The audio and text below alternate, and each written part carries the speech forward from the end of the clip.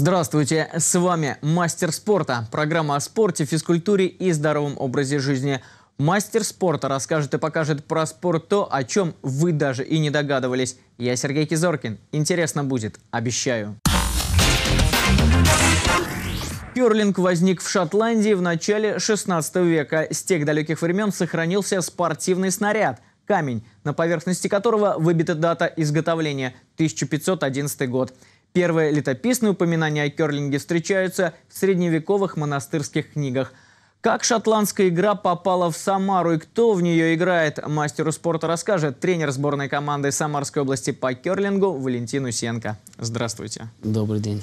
Ну вот расскажите, какие последние соревнования э, проходили у нас в Самарской области или куда-то вы ездили?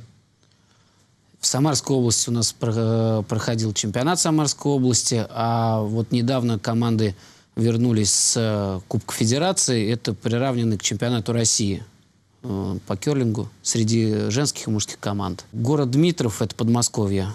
Там хороший каток. Э, у них отдельный лед, профессиональный, свой. Единственное, это находится в общем комплексе с, и с фигуристами, и с хоккеистами, но отдельный лед, свои трибуны, места для судей. То есть там отдельно, там очень хороший, это является одной из баз подготовки сборной. А разница есть, потому что привыкли на хоккейной площадке с минимальной разметкой, тут раз на настоящей площадке по керлингу. Вы знаете, не разметка, конечно, тут влияет, сильно влияет сам лед. Он совершенно другой, э, он более гладкий, он профессионально подготовленный, потому что э, льды готовятся у хоккеистов, фигуристов и у керлингистов вообще разная подготовка льда. И там совершенно другой лед, там другие скорости камня, другие э, выкаты, силы толчков. Э, свип – это э, за счет щеток угу. увеличиваем скорость камня или корректируем его движение. Вот. Поэтому там, конечно, лед для нас был совершенно совершенно другой. Вам дали хотя бы почувствовать разминку какую-то? Или сразу в бой приехали, сразу играть? Нет, ну, конечно, там э, мы приехали, во-первых, у нас была своя тренировка, то есть мы провели Э, была официальная тренировка, и потом после чего начались соревнования. В Самаре мы, конечно, готовились, мы знали тот лед, уже были у нас там старты, и пытались подготовиться, насколько возможно, на самарском льду э, для вот этого профессионального льда. Как выступили, кого можно отметить в команде? Выступили, не удалось нам выйти из группы. Единственное, конечно, нас отметили буквально все участники э, соревнований, поскольку они уже давно это делают, mm-hmm. мы всего лишь полтора года. Вот, они отметили наш такой высокий, высокое движение вперед. Э, ну, на спортивном языке, можно так сказать, покусались со всеми командами, то есть потрепали нервы сопернику, mm-hmm. хотя они занимаются давно. Но не хватило нам опыта соревновательного, чтобы вот выиграть и выйти из группы, чтобы пробиться уже там в финалы. А какое место в группе заняли? В группе мы заняли э, третье место. Из? Скольки команд? Там четыре команды. Все, там э, вообще 16 команд в каждом разряде. Угу. Они делятся на это. А итоговый будет у нас, то есть мы же там имеет значение постановочные камни, э, имеют значение там, э, как играли у, у команды по, по ходу угу. всего турнира. То есть и будет итоговое место, оно будет э, зависеть вот от этих вот критериев. Ну вот расскажите, как вообще формировалась команда? Вы уже сказали полтора года команде, с чего все начиналось и в каком состоянии сейчас? Начиналось, конечно, все тяжело. Самое главное был инвентарь, э, точнее не было инвентаря, нам Федерация Российская помогла с, с инвентарем. Вот, э, а с... что туда входит?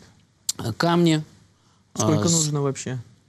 Ну, вот один комплект, он э, состоит из 16 штук. Вот. 16 камней? 16, да, 16 камней. То есть по 8 э, для каждой команды. Угу. Нам предоставили два комплекта. Вот. Министерство спорта э, Самарской области нам пошло навстречу, нам помогли, э, лед э, обеспечило угу. нас льдом для тренировок. Э, вот. И как бы с, с этого мы начали вот двигаться вперед потихоньку, понемножку, тренируясь сами, тренируя детей. Вот. За первый, первый сезон мы откатали, конечно, результаты были... То есть мы даже не оказывали со сопротивления. Сейчас мы все-таки, вот, э, как я уже сказал, подняли немножко уровень, и команды это отметили, что вот мы можем оказывать э, это сопротивление достойно принципе, с нами стало интересно играть. Изначально, конечно, мы берем детей, их набираем... Возраст какой? От 9-10 лет. То есть тогда, когда ребенок уже может более осознанно все это делать, камень толкать. Камень 20 килограмм, 19,96, поэтому угу. это нелегко.